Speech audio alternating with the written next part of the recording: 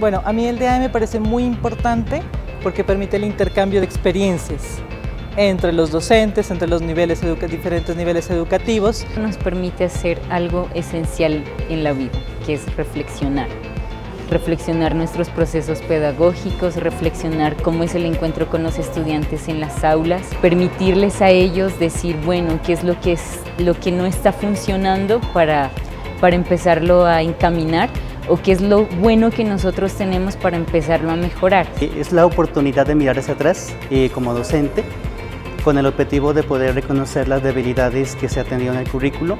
fortalecerlas, mirar los mecanismos para poder eh, mejorarlas y las fortalezas mantenerlas para seguir adelante con el objetivo de tener un estudiante de calidad, pero un estudiante que se sienta a gusto con lo que quiere hacer en la vida. Entre cada docente expresar su sentir, su pensar con respecto a lo que se ha hecho hasta el momento, a las acciones que se han generado, pero de igual manera a mejorar también los procesos, no únicamente en la parte académica, sino en la parte humana. Fue un ejercicio interesante porque involucró a las familias,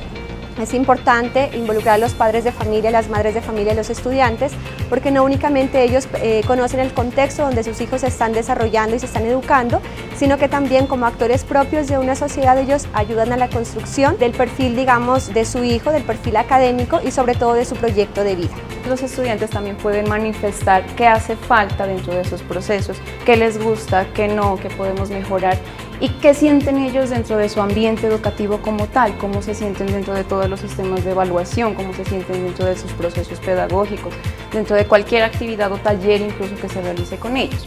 Entonces, eh, yo sintetizaría que el DIAE tiene mucho que ver en ese sentido de valoración y reflexión de qué se hace dentro de la autonomía institucional como comunidad educativa.